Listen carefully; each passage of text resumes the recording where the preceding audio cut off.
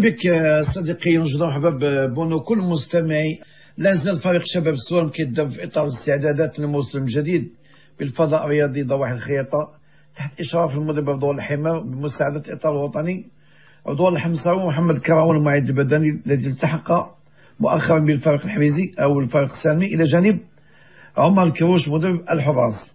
شباب السوالم يونس كما قلت قبل قليل في مقدمة ذاك البرنامج.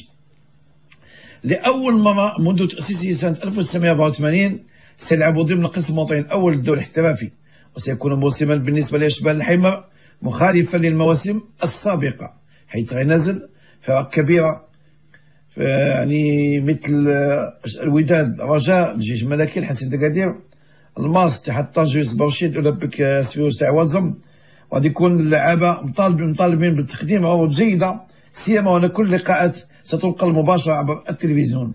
وهذا الإطار في هذا الإطار قام المكتب المصري بالاستشارة مع الحاج؟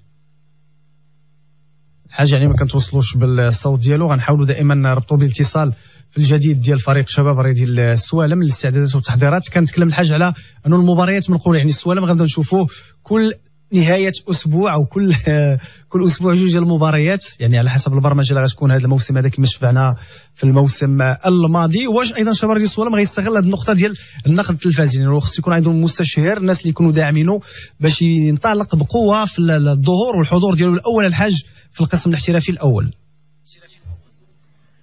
آه بكل صراحة آه هذا الشيء كيتطلب استجابة دفتر التحملات وكيتطلب آه يعني سيوله مادية. وحنا عرفنا أن الموسيقى الأسبوع آه ما قبل الماضي كانت آه الزميل ديالنا عبد الرزاق قبلاوي في المريخ الرياضي أو في مباشر مارس.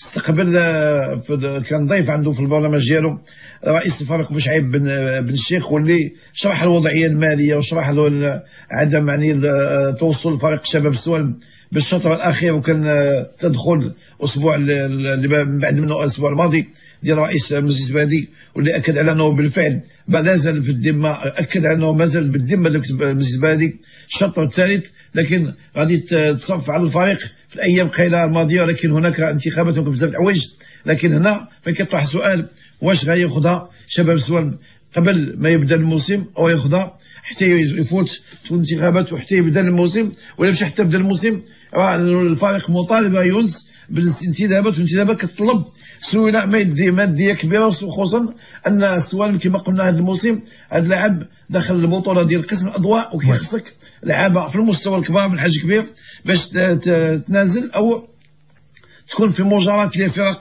كبيرة الوحده الدراجة والجيش ومجموعه من الفرق. وفي هذا الإطار قلت لك على أنه قام المكسب يعني باستشارة مع الإدارة التقنية وجابوا لاعب زكريا بالمعاشي في الخميسات ولقى عقد الموسمين وأيضا جابوا اللاعب ياسر الغزواني واللي جا من شباب التصنيف ولقاو الآخر مدة عقد سنتين المهاجم هيثم البهجة هذا كان جاب كان في البريطان مع كان في الوداد ومن بعد فسخ العقد مع الوداد وقع الفرق ديالو أم شباب السوال معقد لمدة سنتين. مصطفى الصاد هذا لا تكون جا من شباب الخليفه توقع مع الفريق الموسمين. هو جا من الصاد ولكن غادي يلتحق بمنطقه بارده. حتى هي فيها الصاد حتى هي فيها الصاد شي بركة الحاج حتى هي فيها شي بركة ديال الصاد.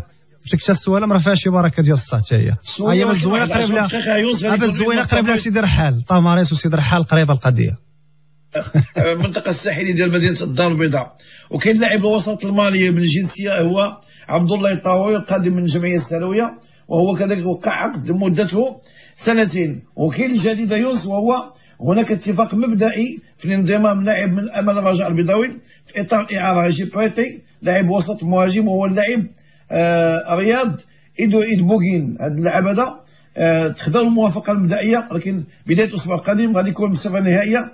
غيلتحق فريق شباب السوالم وغدا السبت إن شاء الله هو اخر يوم تدريب بالفضاء الرياضي ضواحي خياطة. حيث غيدخل فريق الشباب السوالم معسكر مغلق الاثنين القادم لمدة 15 يوم من الجديدة. بخصوص لقاءات وديوس أكد راديو مارس مدرب مساعد عضو الحمى على أن المدرب عضو الحمى أو المدرب المساعد عضو الحمصاوي على أن المدرب عضو الحمى قام باتصال مع فريق اولمبيكو قبل أجل لقاء ودي إلا أن الفريق الفوسفاتي لا زال لم يؤكد هذا النزال الحبي. هذا هو الجديد خويا السوالم كما قلتي مع البداية أنه هذا الموسم راه ماشي موسم deuxième division première division خاصنا mais خصناش سيوله خصنا كذا وخاصنا ملعب هذه النقطة المهمة انه كما قلتي غادي يستقبل في برشيد ولكن إلى أين غنبقاو دائما نشوفوا نطلعوا لبرشيد وحنا طلعنا première division كما قال بن الشيخ إلا ما استجبناش في التحملات راه ممكن ما نلعبوش حتى في première division وهذا نطرح على من نطرح على المجلس البلدي ديال ديال حد السوالم اللي غادي يقدروا يقدم يد المساعدة. لهذا الفريق اللي غادي يعطي غادي يعطي واحد إضاءة كبيرة وصورة جميلة لمنطقة حد السوالم من الفريق ديالو في division. اذا نبقى نودعك هنا إلى مناسبة قادمة اخويا يونس تحية لك صديق بونو محمود كل مستمع راديو مارس إلى اللقاء. شكرا الحاج عبد المجيد بن هاشم. إذا كانت هذه الأخبار ديال فريق شباب ديال السوالم بلا شك بانه المنافسه في ال première division. يعني ما كنتكلموش تقنيا ولكن على المستوى المادي كيكونوا يعني آه، متطلبات أكثر من القسم الثاني الاحترافي. رضوان الحيمر يعني المستوى التقني يعني يدير مجهود مع آه، الحمصاوي وال staff technique كامل اللي معاهم ولا حتى المكتب المسير الحالي. دخلوا déjà في التدريب آه، في أحد المنتجعات بالخيايطه من بعد منها غتكون مرحلة أخرى ديال التحضيرات آه، في معسكر مغلق ثم مباريات ودية في انتظار الإعلان على الخصوم ديالهم وديا واستعدادا للموسم المقبل. وكيبقى دائما الموضوع ديال الإكراهات المادية وأيضا حتى الملعب اللي آه، ملعب قرار يكون فريق شبرا ديال السوالم اللي حتى هو جمهور ديالو المدينة ديال السوالم سهل يعني يكون عندها ملعب وأيضا فريق اللي ينافس على المستوى الوطني في مسابقة من حجم البطولة الاحترافية اللي كتبغي آه إمكانيات وكتبغي أيضا الناس اللي يكونوا مسؤولين ويلتزموا مع فريق شباب رياضي السوالم اللي مازال غنتبعوا إن شاء الله المستقبل والأخبار ديالو قبل من انطلاقة الموسم.